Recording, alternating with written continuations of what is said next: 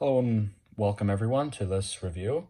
Uh, today I'm going to be taking a look at the 2021 uh, motorized All Engines Go Thomas. So this Thomas uh, just came out last year, back in December, November, if I can get focused on the licensing over there. Uh, yep, and this is based off the new animated series, All Engines Go. I'm not sure where you can watch it. There's a few episodes on YouTube, but like I have no clue where the full series is available. Uh, basically, as you can probably tell, uh, All Engines Go was made to, uh, it, it's it was made to be a more cartoony, more toddler friendly version of the original Thomas series, which was more for like, like, I don't know, people, kids older than toddlers. Basically, I'm not sure. There's a term for kids in that age group, but it was meant to be, All Engines Go is meant to be basically like more of a baby show, like Paw Patrol, uh, Bluey, Peppa Pig, stuff like that. Uh, taking a look at the actual model, it's very, very nicely made. It reuses some of the old uh, Trackmaster 2 wheels, and it uh, uses basically the main chassis design. Uh, it's got a he's got a pretty nice face to him. It it's not like 3D like old faces, not completely 3D anyways. The only like 3D part is the uh, nose. Other than that, everything is just printed on there. Whereas on old Thomas's, the faces were like actually sculpted.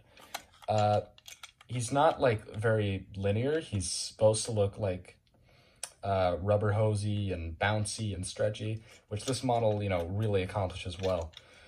Uh, it runs great very quiet. The motor's very quiet. Uh, if I can just get my, uh, what do you call it, my Tomy Thomas, then I can show you like how noisy that is. But maybe in a separate video I'll compare this Thomas with the Tomy Thomas. Uh, like if you actually compare uh, this motorized Thomas to like the actual All Engines Go Thomas, I'd say they look like almost perfectly alike. I'm willing to say that this is one of the best Thomas items uh, made in recent years. Like, it's just so accurate uh, to the current show.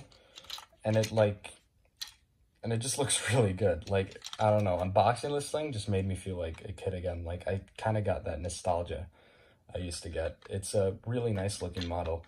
Uh, I'm going to run it a bit with some of my old Tomy rolling stock.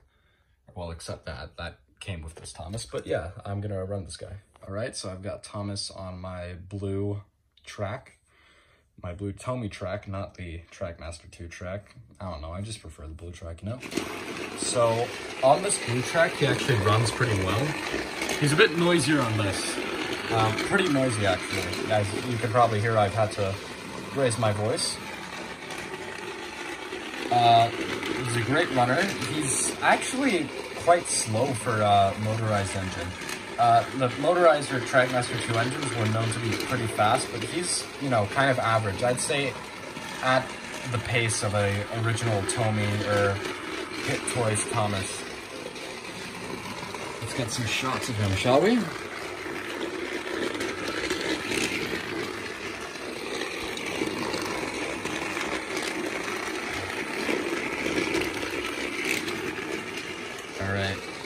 When it comes to the switch, I'm going to power him off.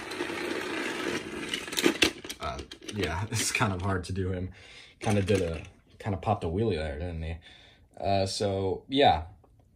I guess that's really all I have to say about this Thomas. Well, now that I think about it, these couplers are kind of messed up. Like, it, they stick out, his coupler sticks out, like, really, it, it's really long.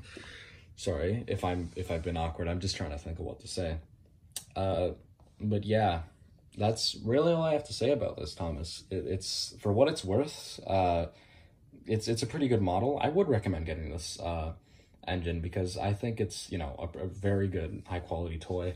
Uh, the lining, I'm just thinking of things to add now, but the lining on this is really just exemplar.